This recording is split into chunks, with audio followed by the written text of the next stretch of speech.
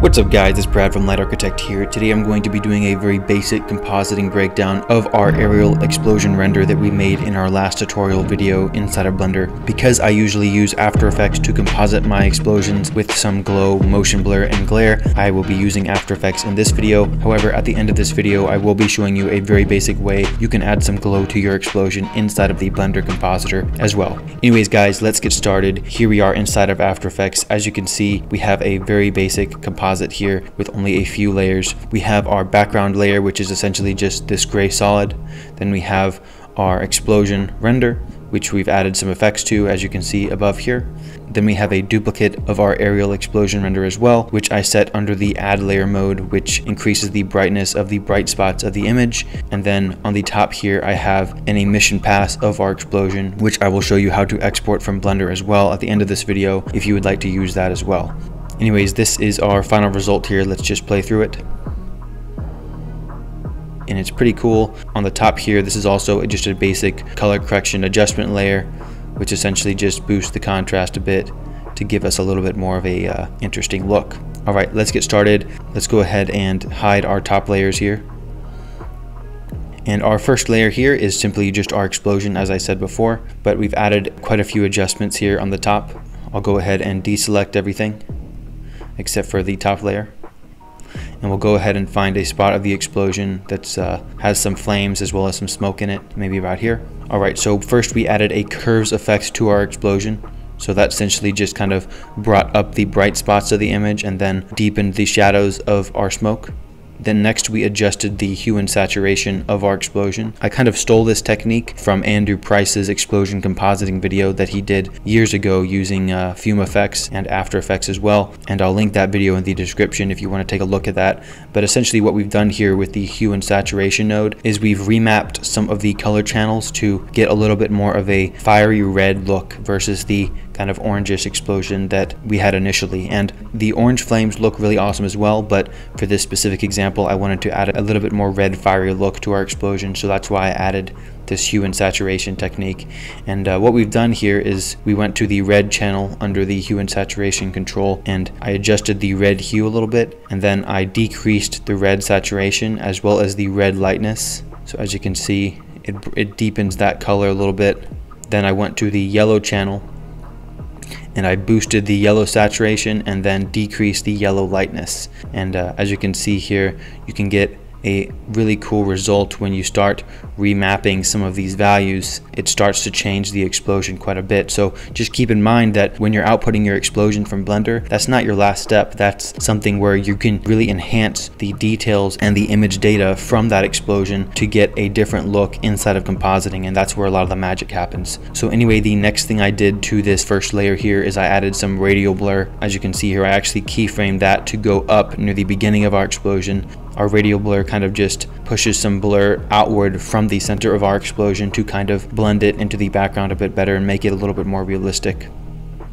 Anyways, after adjusting the radial blur and keyframing that to go up and down near the end of our blast, we added several glow layers. The first layer I added was with a higher threshold value and a lower radius. And essentially what the threshold value does is it tells how bright a pixel needs to be before it starts adding glow to that pixel. So essentially by increasing this glow threshold, we're telling the computer to add glow to only the brightest parts of the image to an extent. And then if we decrease this threshold value, we would be telling the computer add glow to more of the image, including some of the darker points of the image as well.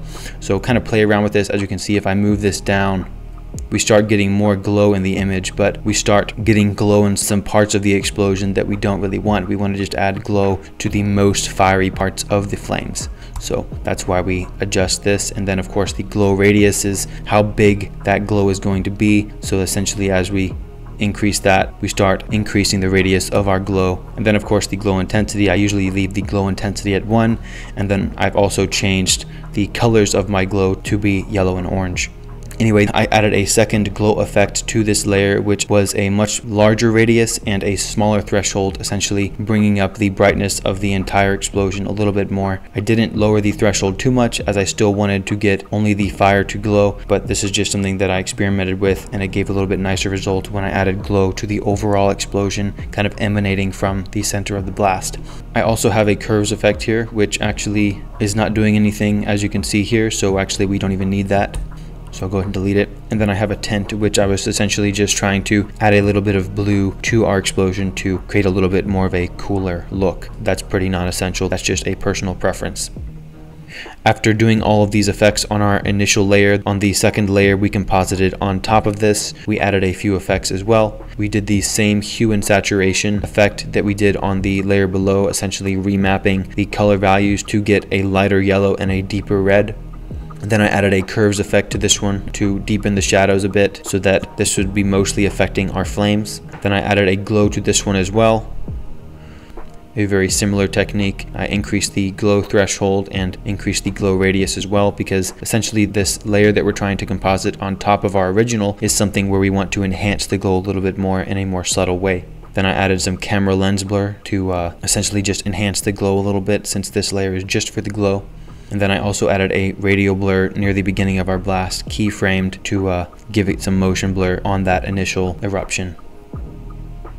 Alright, so finally the last layer we have here is the emission pass and if I select to show this layer only, as you can see here, the emission pass is essentially only the brightest spots of the image. So it's just only the flames that are shown. So exporting an emission pass from Blender is one way you can just isolate the flames and only add glow to them. Um, it's not always necessary, as you can see.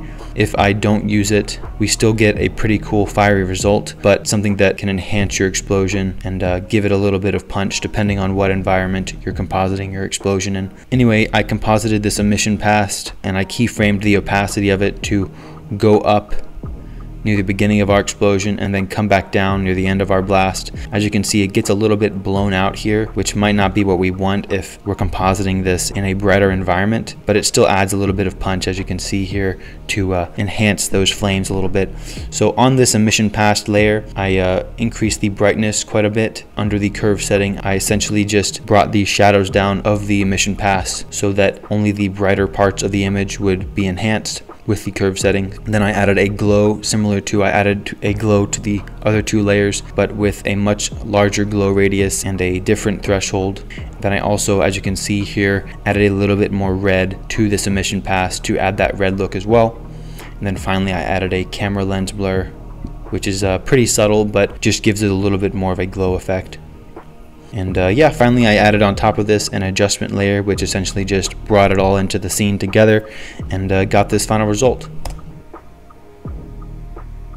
I was uh, pretty happy with this result. Of course, a lot of experimentation goes into compositing the flames into their environment, so you need to play around with the threshold of your glow settings quite a bit. It's not a simple task, but it's one that when done correctly, you can create a very awesome result. Anyways, guys, that's it for this video. I hope it was helpful. As always, feel free to leave any comments if you have any questions or suggestions in the comment section below. Before I end this video, I want to give a shout out to Jonathan Kron's channel, where he makes pretty awesome Blender videos and recently made a small scale explosion tutorial utilizing the KHAOS add-on as well, so be sure to check out his channel and give him some support as well. I will be uploading a very basic tutorial showing how to add some basic glow and glare to your explosions inside of Blender, so stay tuned for that as well. I'll see you guys next time.